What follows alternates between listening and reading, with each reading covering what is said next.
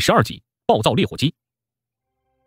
现在他已经是淬体五重，体内的力量更加强横啊！虽然说没有测验过到底有多少吧，但一只手有个两百多公斤的力量，应该是可以肯定的。他提着夏凉的身体啊，并不感觉太过费劲儿。然后他看向已经锁定好的一只烈火鸡，它的位置在最靠边，也最单。刚才啊一直在睡觉，此刻缓缓站起来了，正将长长的脑袋埋在身上梳理自己的羽毛呢。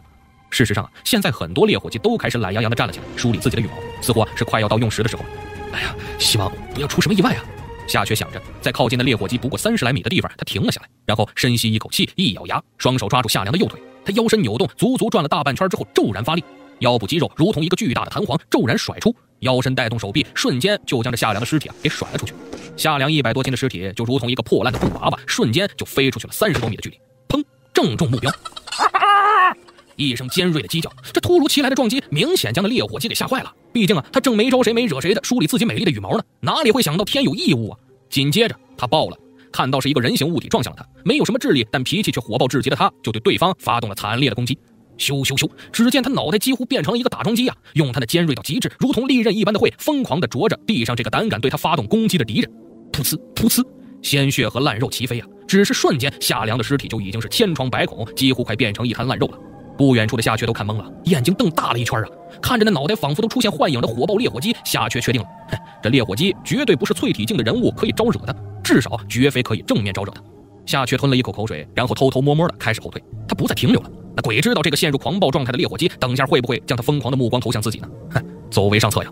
他缓缓后退，一直到篱笆边缘之后，这才一跃翻了过去，然后他才吐出了一口气啊！哎，还有那血气也得处理一下。他返回十九号兽栏，他一路低着头，发现有留下血迹的地方，都会用旁边的泥土给拨弄一下，盖上了。很快，他回到了杀人现场。不得不说，这夏凉的血还喷得挺远的，所以说现场也是很惨烈。那好在呢，现在是夏天，到处都是干燥的泥土。他直接用长刀在地面上一阵拨弄，蓬松的土地翻上来，将这些血迹啊就给掩盖住了。他又在上面来回踩了几趟，将其踩实，确定已经看不到任何血迹之后啊，这才停下来。不过他身上却已经沾了不少的血迹。好在这农场附近有很多地方都有水，有为数不少的小溪啊从深山里流出来，经过农场。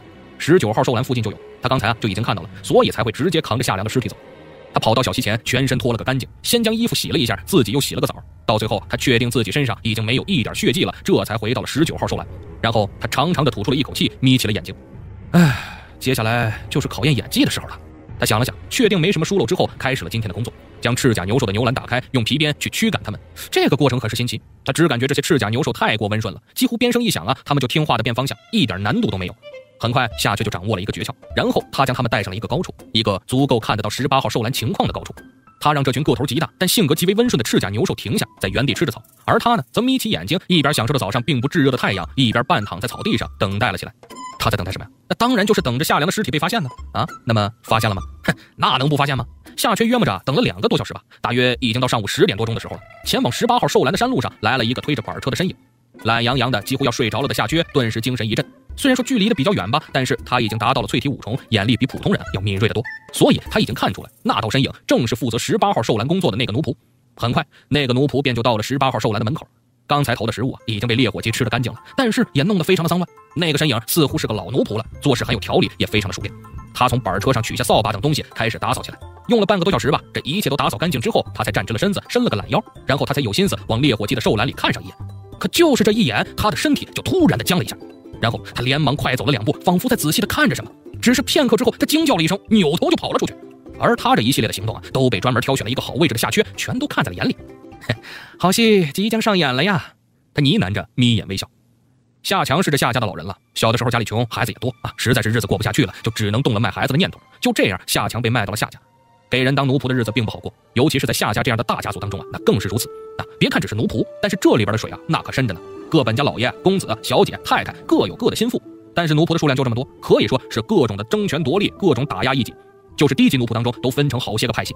那比如说啊，有些奴仆的父母啊就是夏家的奴仆，这部分奴仆是奴仆里面势力最强的，因为能够有资格成亲的，那最少也是管事一级的。他们的孩子虽然按照夏家的规矩依然是低级奴仆，但其实又哪里有人敢胡乱招惹呢？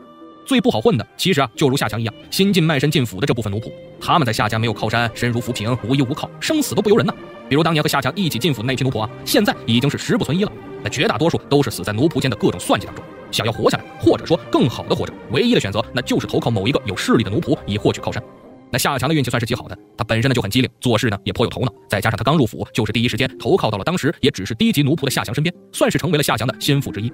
当夏强开始发迹，被家主提拔为家里大管事之后，夏强作为他的心腹之一，也得到了巨大的好处。那不但从低级奴仆提升到了中级管事，那更是在五年前被安排到了夏家农场。在农场这五年是夏强过得最舒服的五年。他作为中级管事，虽不能说是位高权重，但至少很多脏活累活都不用他再去亲力亲为了。每天只要这儿走走那儿看看，盯着下面的低级奴仆干就行了。这农场中虽然还有几个高级管事，但是那些人一般都不怎么管事儿，剩下的呢也就负责整个农场事宜的本家三老爷了。但这位三老爷却是个修炼狂，每天就是除了修炼，几乎不插手农场的具体运作。所以啊，在这儿根本不用跟在家宅中一样，时刻战战兢兢，日子过得那是悠哉而舒适。那这种日子，夏强已经非常满足了。那如果说现在让夏强还有什么挂心甚至烦心的事儿那就要数夏强了。他曾经是夏强的心腹不假，能有现在的身份也是夏强赐予的不假。但如今他却感觉到夏强心腹的这个身份已经开始给他带来了一些麻烦了。感谢您的收听，本集播讲完毕。